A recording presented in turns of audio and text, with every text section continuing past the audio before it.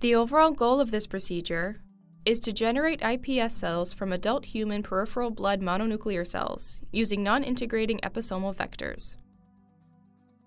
This protocol can help scientists in the stem cell field who wish to generate iPS cells for disease modeling, drug screening, and regenerative medicine. Our reprogramming protocol is very simple yet highly efficient. Following this procedure, one can easily master the technique of blood cell reprogramming. The quality of the plasmids is important for successful reprogramming.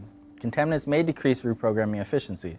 Therefore, we recommend using endo-free kits to purify episomal plasmids.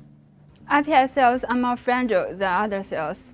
Pipetting cells for more than once during passaging may induce massive cell death, in particular at early passages.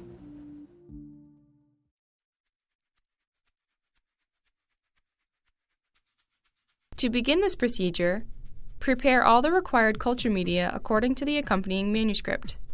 Then, combine 10 milliliters of fresh PB sample and 10 milliliters of PBS buffer into a 50 milliliter tube and mix well. Bring PBS to room temperature, or 37 degrees Celsius, prior to use. Next, add 10 milliliters of Ficoll to the bottom of the tube.